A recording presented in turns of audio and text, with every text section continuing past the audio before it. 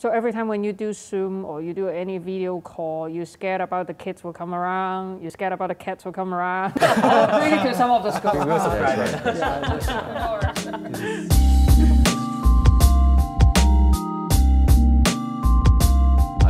you guys ready? Okay. Hello from Hong Kong. We are at Cyberport, the incubation platform in Hong Kong for grooming innovation technology startup. Today, we have three startups with us on a panel sharing with us the topic of innovation in a new normal. Uh, joining me on the panel today is uh, Mark from uh, Robon Technology, a robotics company. And then is uh, Viola from uh, Find Solutions AI, an education technology company.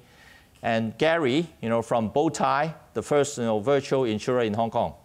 So again, you know, without uh, further ado, maybe I'll let you introduce yourself first. Yeah. Well, maybe I'll start with Gary, the other way around. Yeah. Sure. thank you. Thanks. really happy to be here.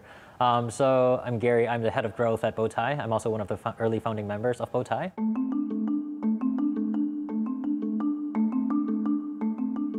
Bowtie is Hong Kong's first virtual insurance company. Um, we focus on selling health insurance uh, to the Hong Kong community for, for the time being. There are some interesting facts with that. Uh, is uh, with virtual insurance, um, we do not have any uh, physical agents. And second of all, we only sell health insurance products that is um, pure protection based so we don't have any investment um, components for our products. And third of all is that um, we're, we're local born and bred, uh, so most of our most of our members uh, are from Hong Kong. So uh, hi everyone, I'm Viola. So I'm the CEO and founder of Find Solution AI. So literally we're doing something more fun than insurance a little bit. Don't get angry.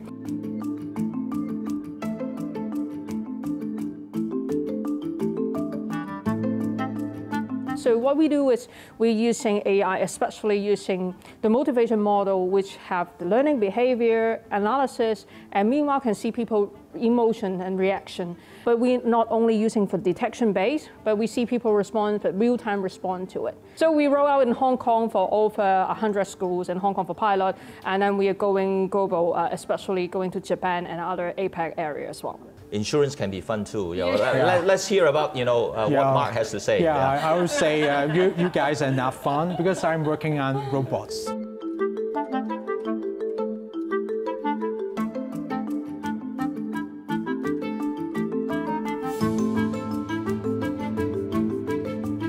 we integrate robots not only for the robotics, we integrate uh, IoT, 5G, clouds, and AI into uh, solutions that uh, we killed pain points during uh, every college's uh, uh, collapse or something.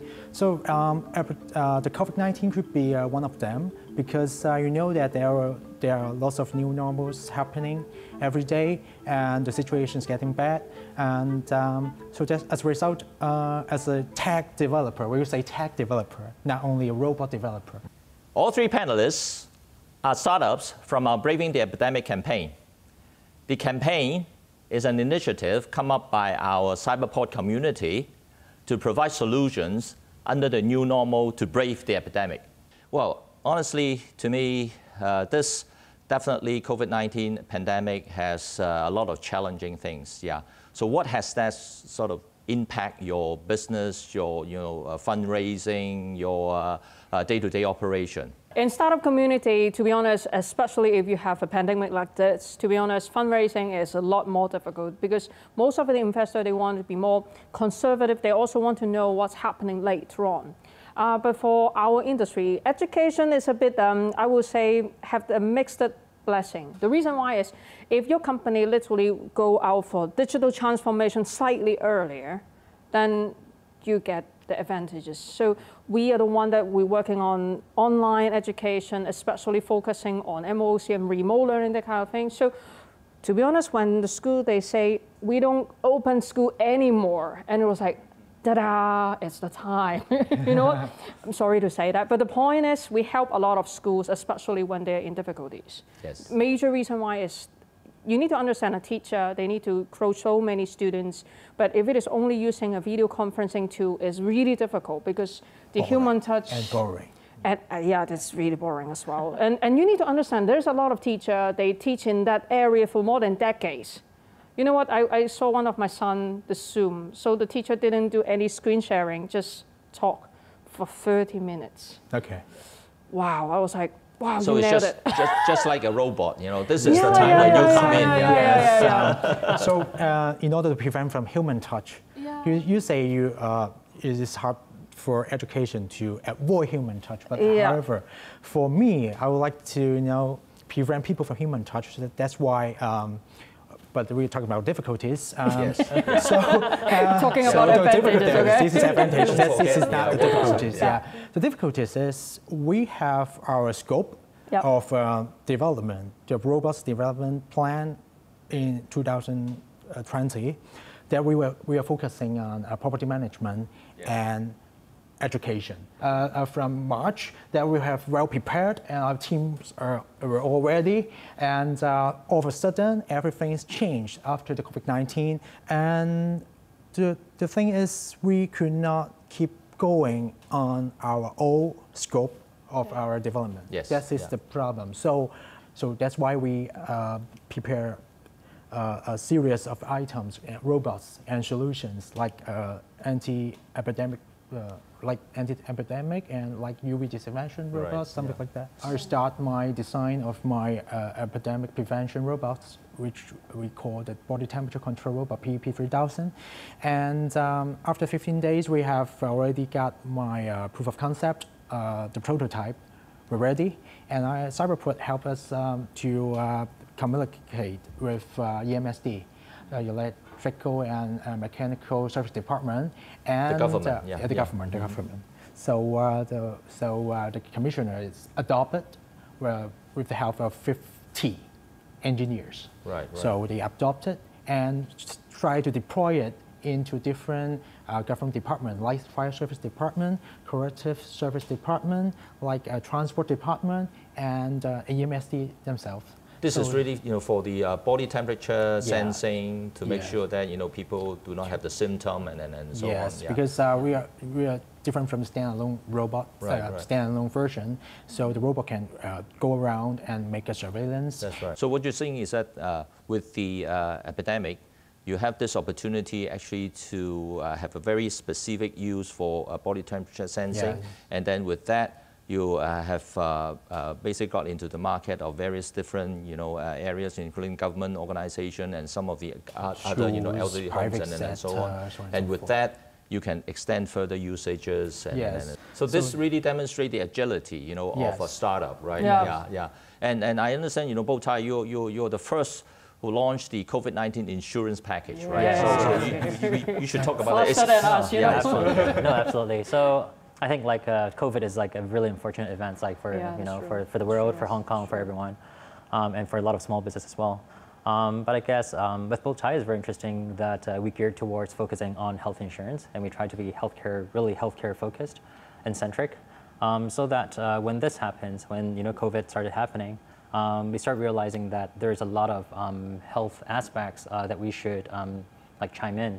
So there, there are a few aspects. One is the awareness part and the literacy. So we really want to help people to better understand, you know, what's going on, and if you have troubles or problems, like where should you go, etc. And uh, the other part is that, um, yeah, back to the point where uh, we were then immediately seeking out and think of, hey, um, for our health insurance product, how can we um, suit to different people in the community that is um, that is good. And third of all, we actually also partner with um, various uh, Cyberport incubate incubatees Yes, yeah. um, to really try to you know distribute um, the products to uh, to maybe more of the um, blue collar uh, working class like drivers, etc. So by creating you know certain products that fit them, so um, we really try to you know spread our wings uh, to really help people in need uh, during this difficult time. A lot of the consumer behaviors have changed. Yeah, Like, that's uh, true, for definitely, I think in Hong Kong we're seeing a lot of changes happening. Is that um, not only are you know like the layman uh, general consumers, uh, they're more open to online activities these Yeah. days. Like there's more e-commerce coming up. That's uh, right, even yeah. buying online insurance, like uh, definitely the numbers have spiked for us uh, over these past probably 10 months.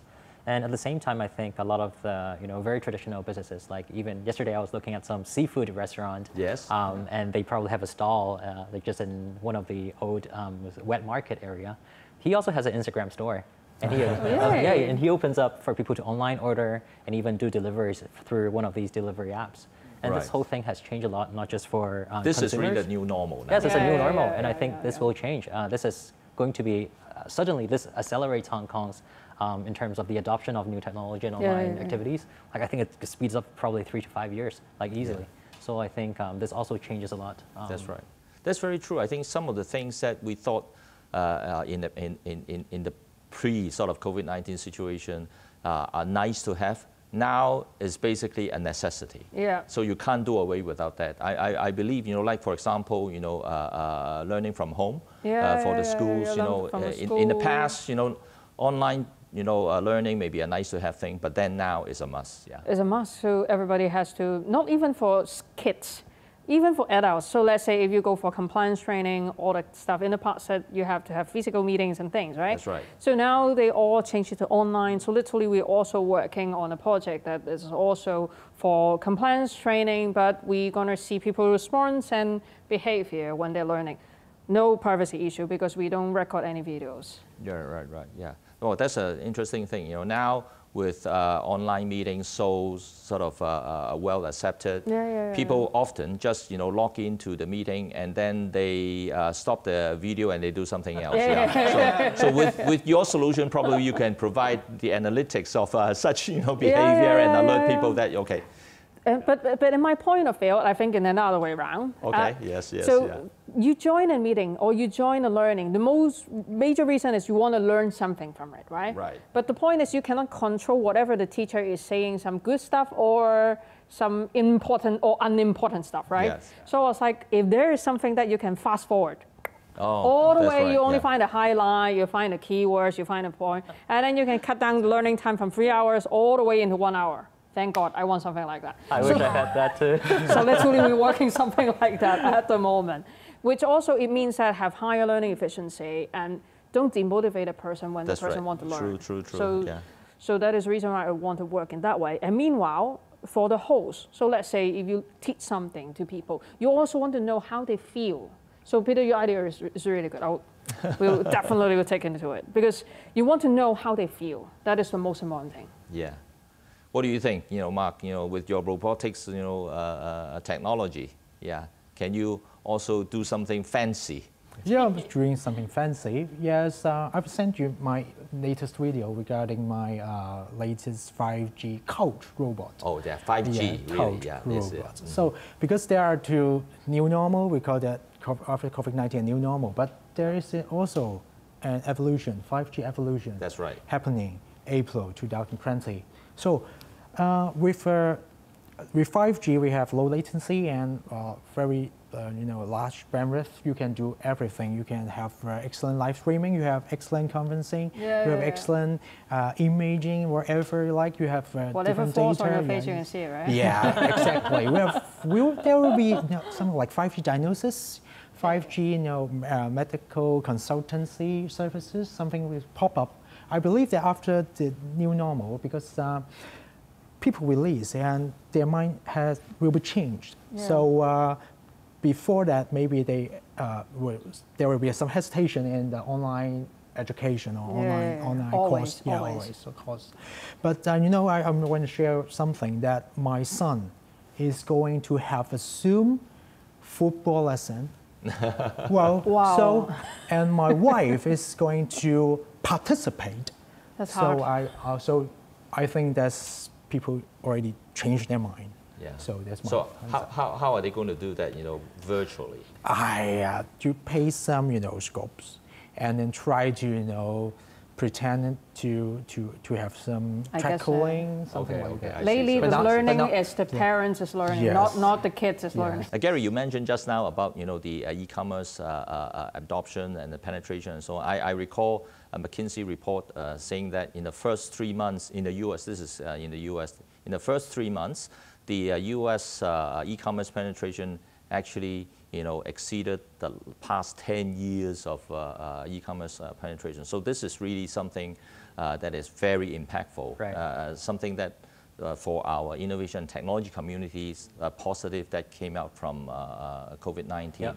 And for uh, virtual insurance, uh, is there any other you know new things that you believe because of this that would generate even you know much more opportunities? Yeah, um, that is uh, very interesting. Um, I think traditionally, like uh, ins- insurance is a very interesting aspect where if you've purchased it, you actually don't want to use it, kind of, because like if you use it, means that you're probably in sick or something. Yeah. But actually, in another sense, that you're probably getting something back from the um, from the premium that you have paid to an insurer. So that's very interesting.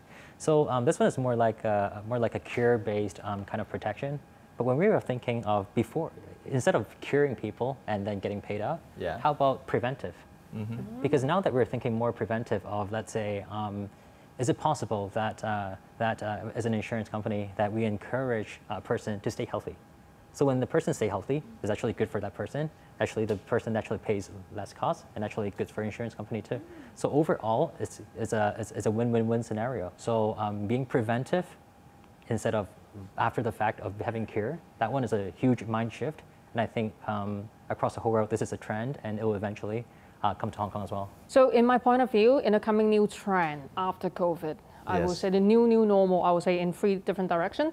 For education-wise, it has to be stronger personal touch, but in terms of online. So it means the human interaction enabled, but you were doing online. That is a really crucial thing because in the past, most of the online education is really maximum can do one-on-one, or exam practice on paper or on online education is just multiple choice, that kind of thing. So the interaction is not there. So I guess the AI powered solution, for example, the behavior, learning behavior and engagement, motivation that should be added in. That's the first thing. Second thing is the way of learning. Because in the past, there is always one way in. So it's like the teacher coach you, so you go for the exam. In Asia, mostly like this. In US, 90 percent is like that as well because the exam it it affects everything, right? But now I think it's time for everybody to really ring a bell to think of how you're going to learn and how you're going to teach mm-hmm. in a hybrid way because physical learning, I guess, in coming one or two years, still be heavily affected. But these two year gap, so think, so what would they do at, at, at home, even though if you have learn, online learning and whatever it is. So the hybrid learning, that kind of mode, they still need to keep it in, which means can help the ones that who is really in need. So a lot of ed tech that it can be put in place. The last things, the last thing is, I do believe personalized learning is really important for everyone. And uh, schools and everybody should really put into a lot of effort in order to make it work as Oh, well. that's great. Yeah. So, so Viola has uh, sort of in her area of expertise, you know, the education technology, made some uh, predictions. Yeah. So basically, you know, more more uh, uh, human touch, you know, with with the technology. Yeah. And, and and you, Mark, yeah, what do you think about you know any predictions, you know, in your area? Yeah. predictions and um, people avoid touching. So that's my prediction. because uh, yeah, that's true. People avoid touching. So uh, we have uh, co uh, uh, a new device called Lone Touch with HKPC. So for the elevator, elevator that lift, Yes. they uh, do not need to touch panel. Right. So simply use a RO sensor to you know uh, indicate the location and with the relay um, installed inside the lift. So uh, this is uh, something like this new normal. And also when you go to fast food shop, you simply touch the panel, the, the smart kiosk or not, you don't like it.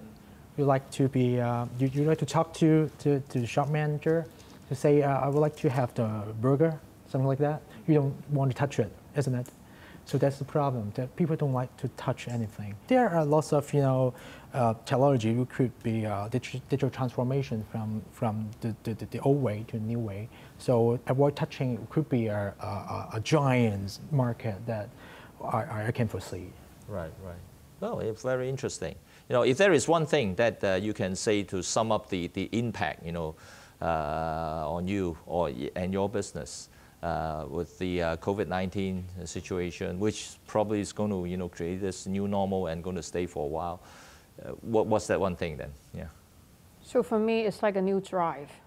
Because uh, every time you believe you always have a plan to do something, but something happens, it's like, oh, we need to think of something new. So it's a new drive in order to say, go for it, hey, that, that kind of thing. So literally it changed every idea that I have. Right, and um, also speed up a lot of things because education normally is a bit slower than other industry because it takes several semester things in order to happen, Yes, right? yes, but now it's like after they talk to you, make a call. Hey, I'm gonna adopt the Yeah. solution tomorrow, something like that.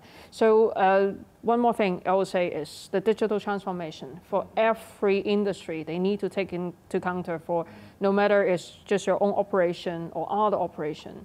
If you adopt it, as long as when there's anything it comes to, it will still have a chance in order to grow and shine. Right. This is a wake-up call for you know uh, accelerating digital transformation. yeah, yeah, yeah. that's really true. So, uh, do you think after the COVID-19, um, you still use uh, your, your, your conferencing software for education?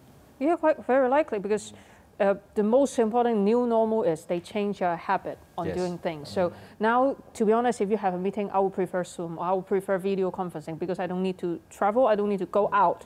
Literally, that's the first thing. Second thing is, um, I, w- I will try to uh, cut down a lot of unnecessary meeting because you know what, you need to do video conferencing for hours is really difficult. So, so it's more efficient, um, which means that you're also stuck at home longer time. You're right, yeah. And the virtual presence is will be that like a lot of as you mentioned like Zoom um, conferences or even like events offline events turn gone gone online uh, these days. But I think uh, not only that, adding to all these is that um, a lot more uh, companies or startups will start thinking, how do I add a more personal touch and human touch over the screen? How is that personal touch being added on? Right, right. People hate touching, so I think new The virtual is- touch is Virtual uh, touch. yeah. Oh, exactly. Good idea. Good, good, good. Yeah. so we're going to have more virtual touch. Yeah. Yes, obviously. yeah. So uh, I don't know if you guys need to travel a lot, but honestly, before the COVID-19, I, I need to travel a lot to China because uh, most of our suppliers in China, and I got a team in the Greater Bay Area. So uh, working on R&D, something like mechanical parts. So uh, we have suppliers like uh, motors, like uh, different relays and, and, and components maybe Grounded in you grounded. you cannot do anywhere. So uh, we are forced to um, to work on some new, you know, uh, solutions during our uh, meetings or suppliers interview. Uh, I, I mean suppliers interview. So when you are not able to go to your supplier's factory, what can you do? Is this really need to know if that perks or if those um, suppliers is sufficient to provide you services. Right. This is really, really hard. So maybe this is also a very big market that we'll be facing. But uh, we, we're trying uh, to go for it by using different uh, online conferencing software. On, on the first point you make, I, I, I'm just, you know, while you are saying, you know, imagining a possi- possible solution of, you know, having a robot on the ground, you know, the, doing everything, and then you wear a virtual, you know, uh, reality glass, Yeah. or, or augmented reality, you know, uh, glass that you can actually see what the uh, robot sees, and then, you know, uh, control it, and, and, and so on to, to basically let the robot be there physically to do the work for you. Yeah, yeah, exa- yeah, that kind of uh, application will probably become you know quite widespread and so on. Yeah, so that's why I, I built a 5G coach robot. Yeah, right. You, you, you are all you know uh, startups you know uh, groomed uh, in Hong Kong. Yeah, uh, I'm sure you know there's a reason for why you want to stay in Hong Kong to really you know start your business. And can you share you know some of those with us? You know why. Yeah, Hong Kong. You know what's unique about Hong Kong that really you know help you to, to, to fly, to take off. Yeah. Absolutely. Um, I think I can share a lot because um, I, I spent my times in Canada and the US uh, for a lot of places for, for many years. Um, and I mean, being raised in Hong Kong, I always know that Hong Kong has a very good, solid uh, legal system, regulatory system. And, uh, but I mean, these are all, you know, great softwares or like supplementary. But I think the most important is really the Hong Kong people.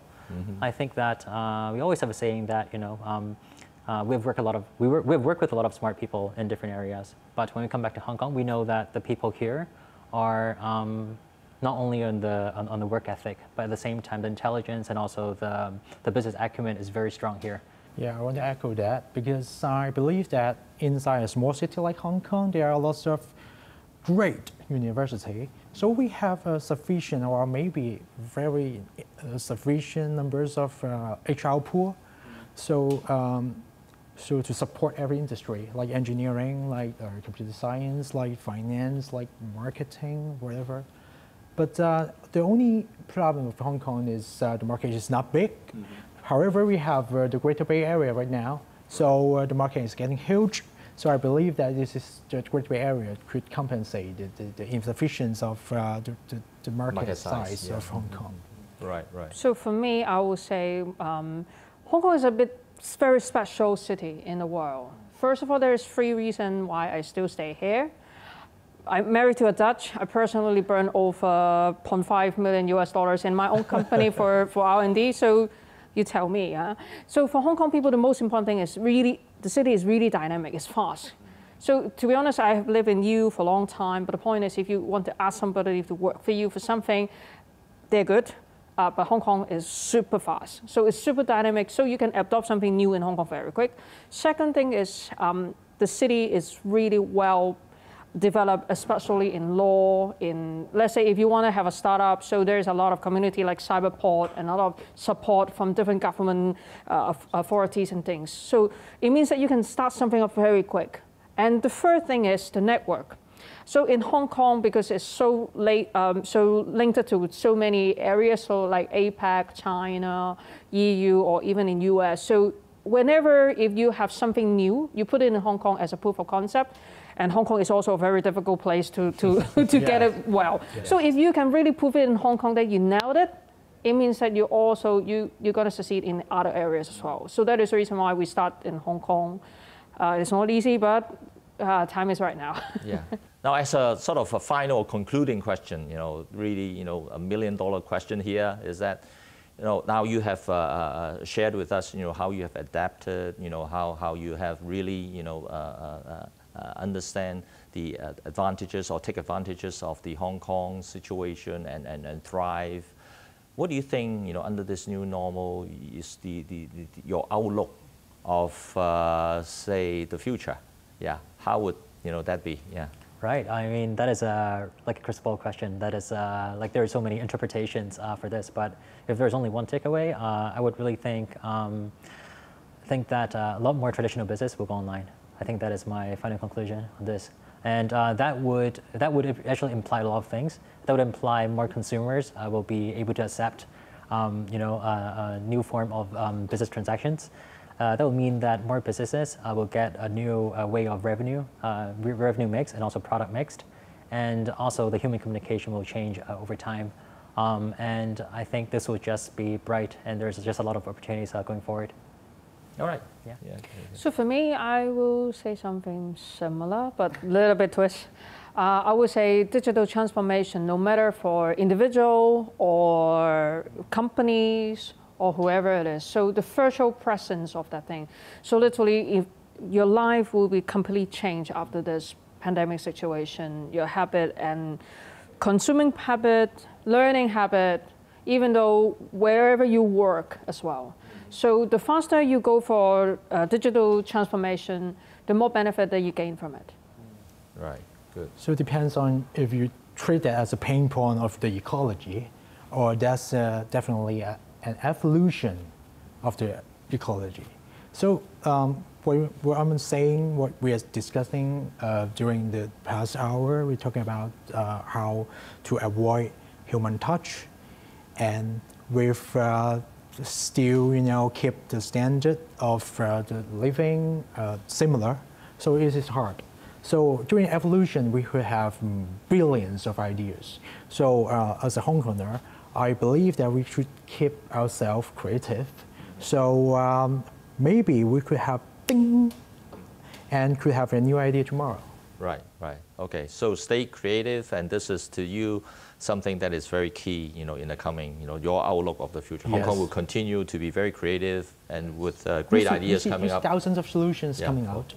Right, good, during, good, good. During yeah, let's, let's keep that in mind and be, continue to be creative and, and generate you know, great ideas. Yeah, it was really a great discussions that we have just now. You know, thank you so much, you know, for joining the panel and sharing your experience, how you have adapted, how you have, you know, braved the uh, epidemic and all those. Yeah, really, you know, especially, you know, the last part about the outlook. Thank you so much. Thank you. Yeah, well done.